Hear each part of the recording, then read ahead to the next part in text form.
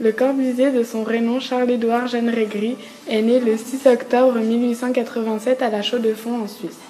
Il est mort le 27 août 1965 à Roquebrune, Cap-Martin, à 77 ans en France. C'était un architecte, décorateur et sculpteur. Il faisait partie du mouvement moderne et avait œuvré pour l'urbanisme et le design.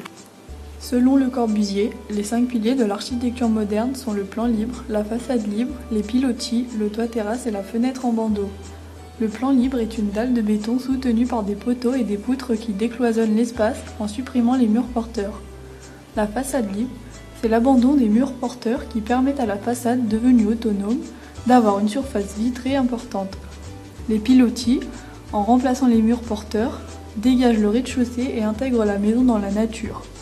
Le toit terrasse, lui, permet l'aménagement d'un jardin sur le toit et la fenêtre en bandeau qui ouvre la vue sur le jardin permet de faire entrer plus de lumière dans la pièce.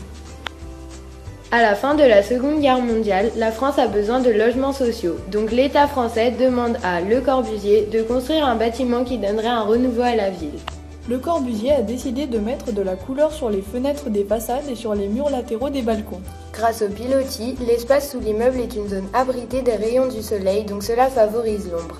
Les appartements sont orientés est-ouest et reçoivent donc la lumière du matin ou celle de l'après-midi grâce au large baie qui favorise la vue sur l'extérieur sans vis-à-vis.